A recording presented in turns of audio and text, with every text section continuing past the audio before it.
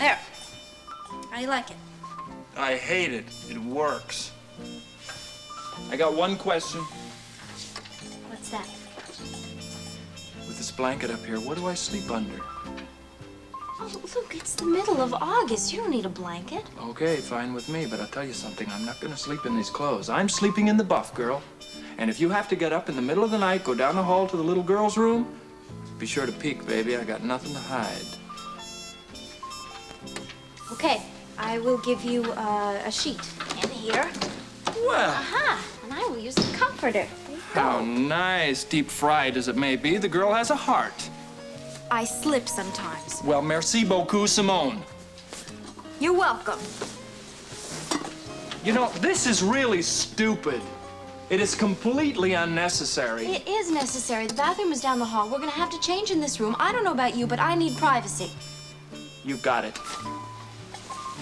Well, I'll tell you something. If I don't get to sleep, I'm not gonna be any good to anybody tomorrow, and we certainly don't want to let down Mom and Pop Calhoun. No, we certainly don't want to let down Mom and Pop Calhoun. So, if you don't mind, I'm getting undressed. I don't mind at all. Thank you.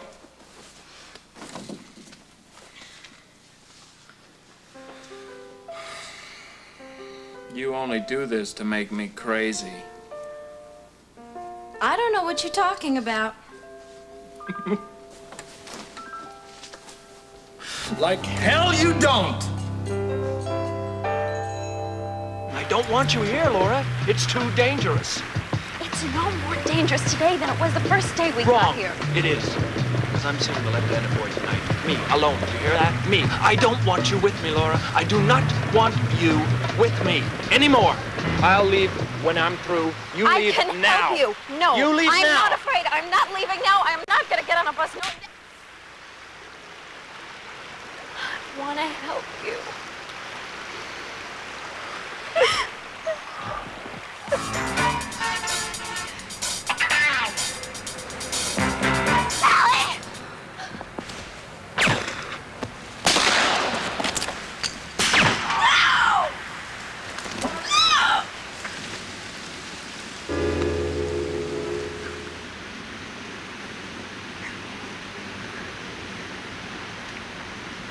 Chill out. I'm okay. I'm all right. I'm sure you're all right if Hey, you wh- dead. hey, whoa, baby. What do you think you're dealing with here? You buy blue jeans, right? I buy bulletproof vests. Let's get out of this town. It bores me. We got one down, but we get the big one to go, you know? What are you talking about? You know what I'm talking about. I'm talking about this engagement ring which you gave to me in some shady little mountain cabin a whole lifetime ago, don't you remember? I remember a lot of nights when I wanted to take off my wedding ring. But you didn't. And I can't take it off for you. Mm-mm. No, you gotta take it off yourself. It's your responsibility. I'm sorry it took me so long, but, uh, well, I had a lot of things to think about. I hope Luke's been giving you a hand. Oh, uh, he- he certainly has. Hmm. Well, looks like you need some help setting the table. Luke, why don't you take some of the silverware from Mrs. Whitaker? What did you say? I said, why don't you take some of the silverware from Mrs. Whitaker? Laura. Luke. Mrs. Whitaker. I love you! Oh, my word! What on earth has gotten into you? Oh, my word! I never saw anybody get so excited about setting a table before. Well, it must be the smell of your home cooking, That's Mrs. it. It's Whitaker. the smell in this room, Mrs. Whitaker. That's what it is. Will you marry me? Oh, well, I, I would, I would love to, Luke, but I'm not free, and neither are you. You're already taken by Laura. That's right. That's right. Is it right? Am I spoken for? Am I really? Yeah. Hallelujah! You must be crazy. Oh, you noticed. Yes. Uh, You said you were gonna get something for me. I don't smoke cigars. You don't? No. Oh, would you like to start? no, actually, uh, no, this is what I got for you right here. And it's to remind you that uh, we were married last night.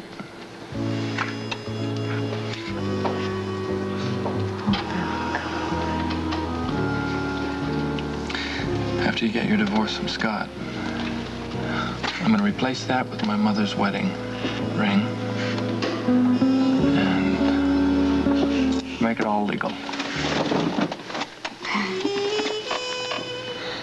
Nobody ever harm you. Ever.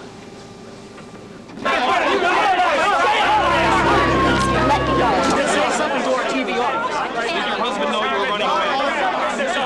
Tell us the circus is over, let's knock it off. What circus? We're just trying to get some answers. Look, I'm going to give you a couple of minutes inside All right, with good. Luke and Laura and their family. Wait, wait, hold it, hold it. Only two reporters can go in. Hey, ladies and gentlemen, get out of here. Dangerous. Uh, Mrs. Baldwin, would you care to comment on your relationship with uh, Mr. Spencer? Hey, listen, now, Luke. All right, Luke, come on. You're just going to make it worse now. Stop. Look, do you want to answer any? I got the answers to that question, chum. Don't ask her. Will you back off? Are you still married to Scott Baldwin? Are you wearing a wedding band? Yes, I'm wearing a wedding. Do you still it's feel really- like Mrs. Scott Baldwin? Of course I'm Mrs. Scott Baldwin. You said you're still Mrs. Scotty Baldwin, so that means you're wearing his ring? If you're still Mrs. Baldwin, where is your husband? Why isn't he here with you? My son is waiting for Laura at their apartment so they can have a little privacy. Now, please, you have your story. What is that ring you're wearing, Mrs. Baldwin? It's one of those 10 cent cigar bands kids use to promise each other they'll be married one day. Is the cigar band some kind of joke, Mrs. Baldwin? Is it? Is the paper ring a joke, Laura? Please. The man is waiting for your answer. I'm waiting. What happened to your wedding ring, Mrs. Baldwin? I don't know. You don't know. I must have lost it. That's enough questions for now, I Mrs. think. Baldwin has to make a statement to the police. What about the cigar band? That is very personal. Very personal. Did someone give it to you? Were you born with it? I don't know. You don't know. Please stop. You mean it's some kind Is of joke? Is the ring a joke, Laura? Are you still married to Scott Baldwin? Hey, she said she was. Now, isn't that enough for you? Mrs. Baldwin. All I have to hear is that she kept her wedding vows, no matter what kind of story you print. Mrs. Baldwin, have you been faithful to Scott Baldwin? Yes. Okay, creep, you got your answer. It's too bad it broke so easily, isn't it? But then, uh, what do you expect from something so cheap? Wasn't meant to last forever, it was it, Laura? Luke, Luke, wait a minute. One last question, That's enough. Mrs. Baldwin. How do I get permission to see him? You don't, Laura. I am going to see him. No, no, you are not. You've heard him enough already. I'm getting a divorce, Luke. Oh, yes, well, I should hope so.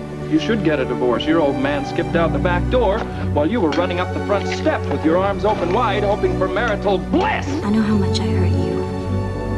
But I'm gonna wait. And wait. And wait. Till that hurt goes away. Well, I am a real healthy guy, and my wounds heal fast.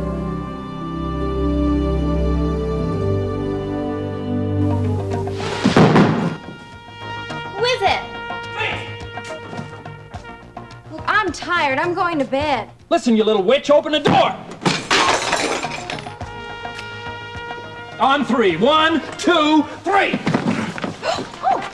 You ever mess around like that again, I'm gonna break your neck. Like what again? Oh, like what again? Don't give me like what again. Coming on to that guy at the parade. What do you think you're doing? You don't. You're opening yourself that for that guy just to move in on you. Who was the jerk? Just a guy. Just a guy. What a shame. Just a guy. This guy doesn't know that you only did that to get to me. You certainly are sure of yourself, aren't you?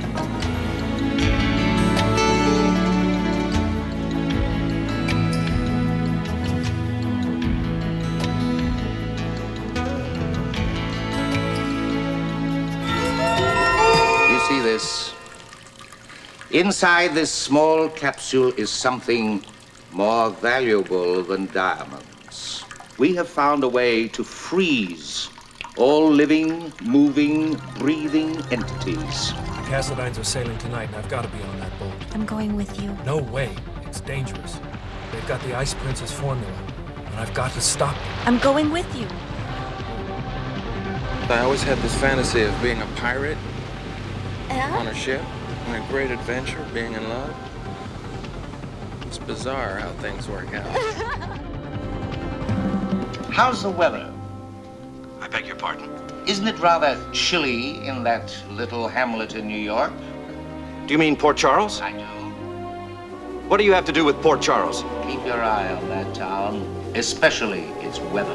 The Cassadines have an island somewhere in the Greek islands. I assume that you've searched there. Mikkos would not use such an obvious location to launch his operation. Laura is on that island. I have decided to lower the temperature in Port Charles to 40 below zero.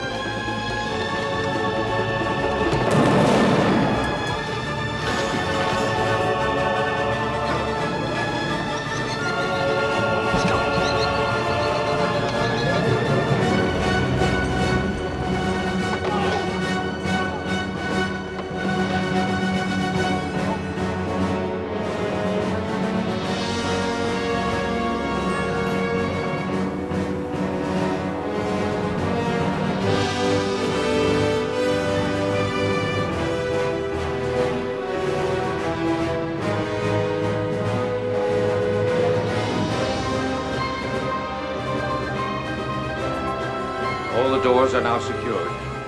Sit down, Mr. Spencer. You've got to give in to him. You can't. There's nothing you can do.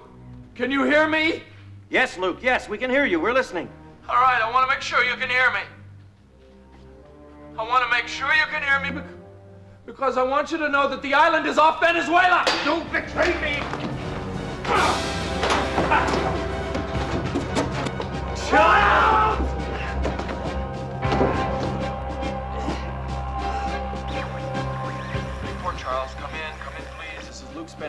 Anybody hear me? Can you hear me? Port Charles, please come in. We read you, Spencer. This is Ballantyne at General Hospital. All right, look. Uh, Mikkos and Tony Cassadine are dead. What about that weather machine? The only thing that's going to stop it is, is feeding the right code into the computer. We're on a critical basis here, Spencer. Almost at zero hour and a total freeze. Can't you do anything to stop it? We're working on it, man! It is 15 minutes to zero hour. Repeat, 15 minutes to zero hour. You are on your own. Repeat, you're on your own. Do you read me? Yeah, I read you. I know what you're saying. You're saying if I don't come up with a code, Port Charles is dead and probably all of New York. Thank you. It's got something to do with the weather. Freeze, uh, storm, storm, storm. That's it. Storm. Uh, snow, snow, snow, snow, snow. Ice, ice. That's it. There's more. What do you want? Machine, come on, baby. What do you what do you want from me? You got ice. Ice cream. Iceberg.